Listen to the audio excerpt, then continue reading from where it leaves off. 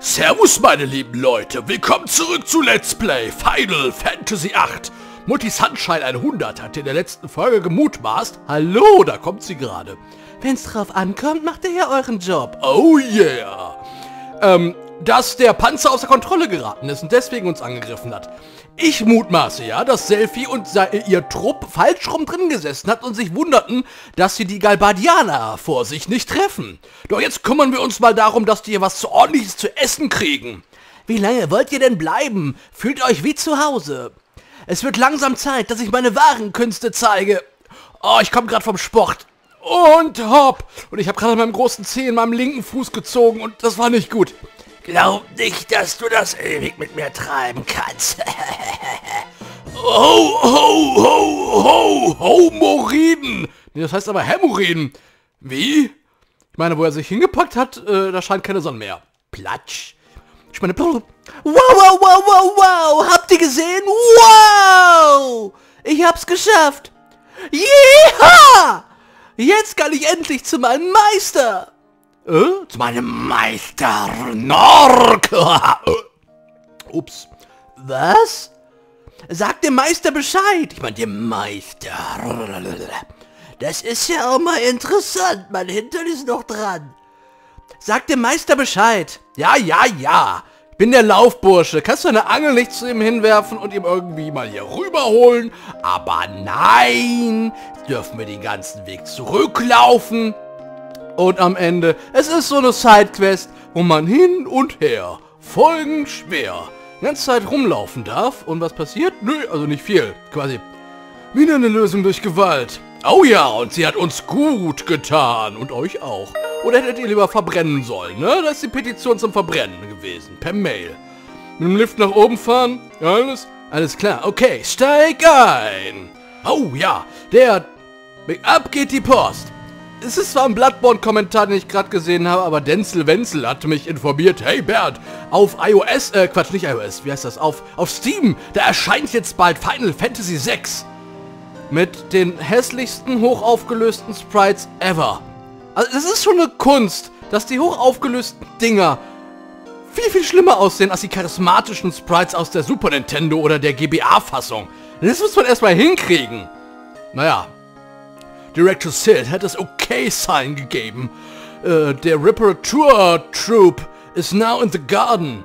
Verstanden, glaube ich. Bei deinem Denglisch. Ach, yes? Äh, was ist? Hm, ich, ähm... Uh, the people from FH, äh, FH, yo, are doch alle hochqualified. Ich hab etwas, was ich äh, repaired haben möchte ob es in Ordnung ist, wenn ich sie mal aske? Ähm, wenn die Arbeiten am Garten nicht in Verzug geraten, warum nicht? Aber treib's nicht, okay? Na klar! Mach ich naturally. I mean, natürlich nicht. Okay, schön, dass du... Ich find's toll, der hat wohl eine Genickstarre oder sowas. Dass er andauernd irgendwie in die andere Richtung guckt. So, jetzt dürfen wir den ganzen Scheißweg wieder zurück zu dem alten Mann wieder voran wegtraben macht ja so viel Spaß, diese Leitern so langsam zu klettern und irgendwie den Hintern von Irvine im Gesicht zu haben, während wir das tun. Obwohl, Mr. Squall, hm, ja, wie sieht's aus? Vielleicht, ähm, naja, das mit, mit Renoir ist, ist ja schon so eine Sache. Es ist, keine Ahnung, ich wäre ja sowas von heilfroh, wenn meine Kameraden wieder das überlebt hätten, wo man sie für so lange quasi tot geglaubt hat, ne? Und dann, oh, sie ist wieder da. Und jetzt haut ab, ich will allein sein. Mehr oder weniger. Durch die Blume gesprochen, möchte ich sagen. Na? Du bist von meinem Gesellen beauftragt worden, oder? Er macht Sachen, was? Ein lustiger Junge. Dann nimmst du dich wohl auf den Arm. Ich glaube eher, das ist Husten an, oder eine Krankheit und nicht Gewohnheit. Was ist so lustig daran? Es ist nur, Du bist doch einer, der es hasst, wenn sich jemand in deine Angelegenheiten mischt. Äh, ja, gut möglich. Verdammt, er hat recht. Aber trotzdem, nein, Entschuldigung, ich nehme dich sicher nicht auf den Arm. Das Kind hat viel Talent. Na, wenn das so ist, dann viel Glück. Los, gehen wir. Das hat sich ja voll gelohnt. Moment noch! Schenkst du mir ein wenig von deiner Zeit, bevor du nach Ballam zurückgehst? Du gefällst diesem alten Mann. Wenn du noch etwas Zeit hast, dann komm doch in das Sex, ich meine in das Übernachtungshotel. Äh, was hast du vor? Eine Predigt halten. Oh Gott, ein alter angelnder Katholik und Squall ist ein Katholiken-Messdiener-Boy. Alte Opas mögen sowas nicht. Haha, Entschuldige, wenn ich das Thema wechsle, aber bald wird hier der Teufel los sein, wenn die Polizei hinter mir her ist, wenn ich mit der fertig bin. Ich möchte mich in Sicherheit bringen. Nun, den Rest überlasse ich euch. Was? Okay, und im Hotel bist du sicher, oder was? Und nun erklär mir das mal, wie du schneller da sein willst als ich. Den Rest überlasse ich immer noch euch. Okay, also, wir haben nur ein Hotel. Wir haben in diesem Hotel das äh, Pornomagazin schon gelesen, Gott sei Dank, bevor er auch noch auf irgendwie Gedanken kommt. Kamasutra Teil 15 oder sowas. Ich sehe euch dann wieder, wenn ich zum Hotel gegangen bin. Bis gleich. Da bin ich auch schon wieder auf dem Weg nach unten. Seitdem ihr hier seid, passiert vieles. Zum Beispiel, dass ich schon fast wieder nüchtern geworden bin. So, gute Frau, wenn du von oben irgendwelche seltsamen Geräusche hörst, die da nicht reinpassen, dann bitte die Polizei rufen. Ihr seid also gekommen. Danke, ich schulde euch was. Du wolltest mich sprechen? Naja, ich wollte dir was zeigen. Nämlich meine richtige Angel. Ja, hier ist es. Oh, es ist seine frühere Zeit als katholischer Priester. Eine alte Aufzeichnung von Job. So, der war Priester oder was? Warum haltet ihr an Gewalt fest? Auch wenn ihr das sagt. Wieso haben die Hologramme, die in der Luft schweben können? Es ist derjenige, der Esther mit Leib und Seele verändern wollte. Das kann doch... Das darf doch nicht die Wahrheit sein, dass ein Mensch, der sich immer anständig aufgeführt hat, der immer anständig und ehrlich das Leben nicht einmal einen Strafzettel bekommen ist, dass man dem mit einem Leasingvertrag die Gürtel aufschneidet.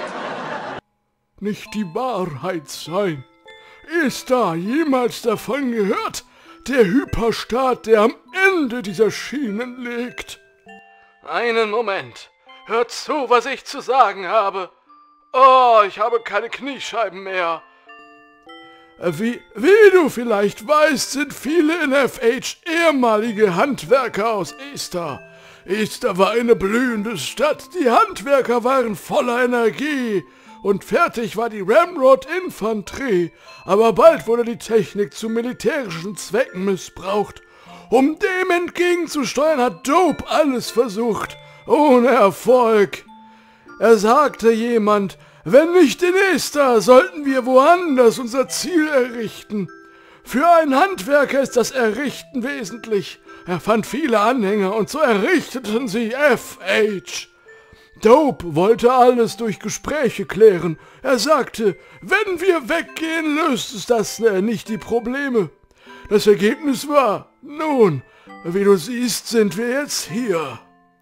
Deswegen hält er daran fest. Er will alles durch Gespräche klären. Darin sieht er seinen ganzen Stolz. Niemand wird ihn deswegen kritisieren. Das ist ja mal Charakterentwicklung hier. Aber am Schluss hat er begriffen, er hat uns alle geführt. Die Zeit verging, Esther und FH haben sich gewandelt. Aber wir können stolz auf unsere Stadt sein. Wir müssen uns nicht verstecken aber es ist auch nichts Weltbewegendes. Das eben war meine Predigt. Wollt ihr nicht noch bleiben? Warum nicht? Es ist gerade so gemütlich hier. ihr seid jung, aber gesellig. Dann kommt mal mit. Kommt einfach mit. Und was ist... Das ist doch so Stromverbrauch hier. Kann man den nicht wegmachen? Die schreckt sich doch. Das kennen die. Na gut, die kennen das doch ja. Ein Geist. So haben die Geisterjäger das also früher gemacht. Fisherman's Horizon ist keinesfalls eine Illusion. Das muss man mal sagen. Es ist jetzt vielleicht nicht das umschweifendste an Hintergrundstory für jemanden, aber es ist mal Hintergrundstory für jemanden. Und das ist interessanter als das, was die Hauptcharaktere hier zu bieten haben. Puh, das war anstrengend.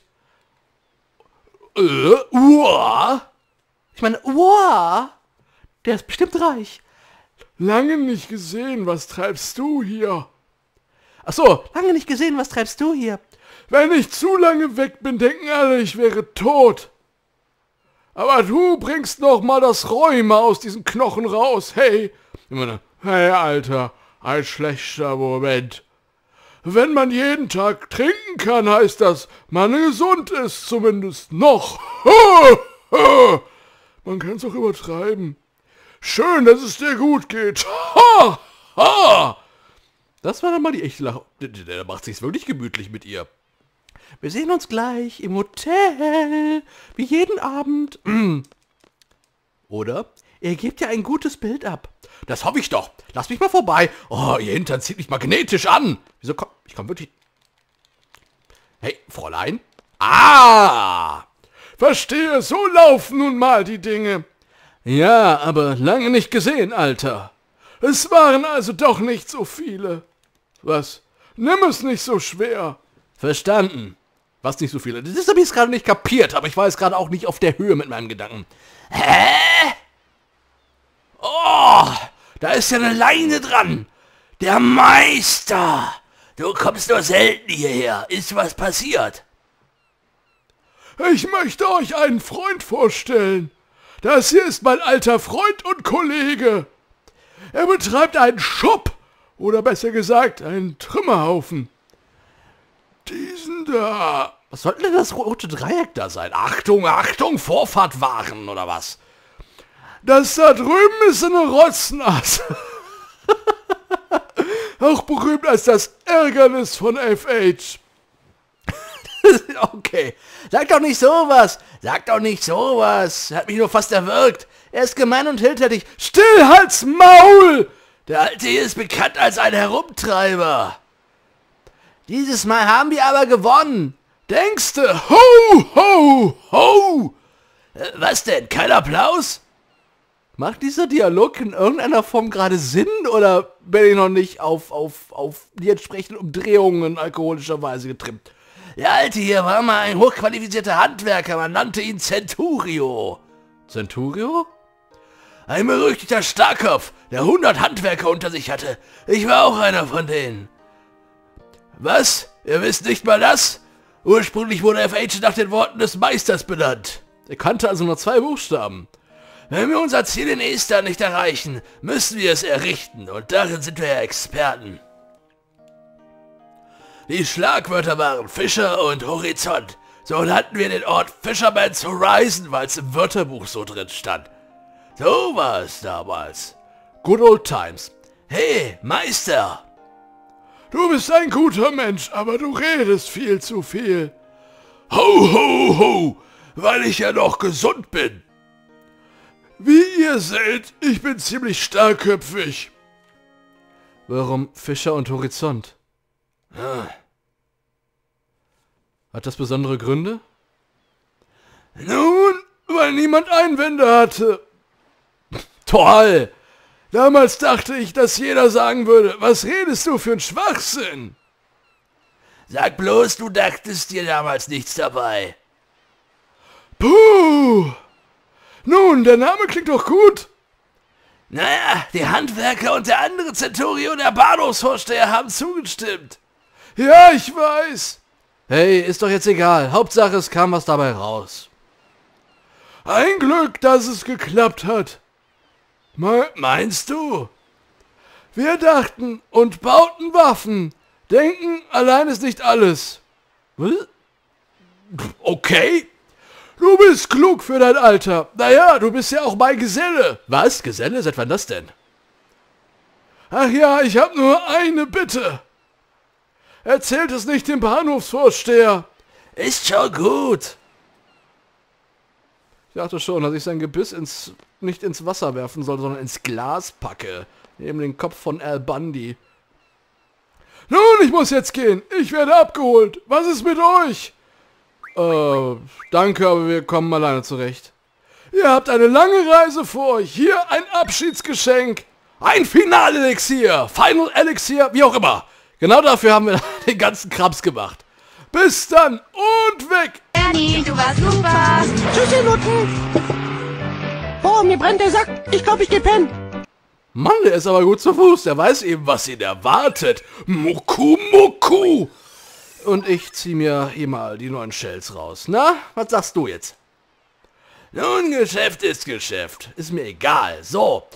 Mit den Adamantiten kann ich bald was Schönes machen. Konzentration, Konzentration. Dann kommt auch bald der finale Lohn. Ja, es ist nicht toll, eine ganze Folge durch meine inbrünstige Weise zu ähm, synchronisieren, quasi eine Folge für eine solche Nebenquest mal mitgemacht. Naja, nicht ganz. Wir haben nämlich noch was Zweites hier zu erledigen. Wenn ich nicht recht irre, aber dafür brauchen wir den guten, ähm, ähm, Irvine in der Truppe. Los, reparier's schon. Für dich ist es doch ein Kinderspiel. Na? Nur hör auf, dir mit den Sachen da rumzufummeln mit den Händen. Hör auf, an ihm da rumzufummeln. Na gut, da wirst du, glaube ich, intervenieren, glaube ich. Was tust du da? Schnauze! Boah, Seals! Hm, gegen die haben wir noch nie gewonnen. Ich bitte ihn, den Ironclad zu reparieren, den ihr kurz und klein geschlagen habt. Will er angeben oder was? Äh, eigentlich nicht, nein. Glaub bloß nicht, du kommst so leicht davon, hä? Hört sich ziemlich großkotzig an. Das kann ich nicht durchgehen lassen. Ich muss ihn vertrimmen, vertrimmen, vertrimmen. Hey, aufhören, zieh Leine. Was? Okay, machen wir es aus. Ich bin Karate-Experte. Ich schlag euch zusammen. Wie? Ja, kommt her. Versteht ihr, Karate ist ohne Gebrüll wirkungslos. Lasst ihn brüllen, bis er die Stimme verliert und dann holt euch den Typ. Wir gehen nach draußen.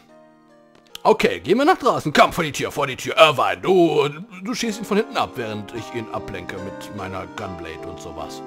Hm? Nach draußen? Wo ist er denn? Habt ihr gesehen, dass er rausgekommen ist? Ich nicht. Boah, der muss sich wegteleportiert haben oder er hat sich als Gumba verkleidet. Oder hat mir gerade äh, quasi äh, Schutzgeld gegeben. Ne, ist aus dem Fenster getürmt. Zwei gegen eins ist unfair, hat er gemeint. Wir verschwinden durchs Fenster, sonst pöbelt uns die Masse an, Commissioner. Pöbeln? Im Polizeipräsidium? Die Kinder denken, wir sind zu cool, Mann, und wir provozieren sie. Danke, bitte nimm das mit. Und wir kriegen einen Mega-Phönix für die ganze Sache. Sonst komm jederzeit wieder. Ha! Hat er uns das letzte Mal nicht noch irgendwie beleidigt? Naja, das war's dann äh, quasi auch aus dieser Folge von Let's Play Final Fantasy 8. Und beim nächsten Mal werden wir mal feststellen, wo hier die Musik wirklich spielt. Doch wo wird es sein? Auf der Bühne? Beim Major? Von uns so hier Brückenbauer. Bis zum nächsten Mal. Auf Wiedersehen und ciao.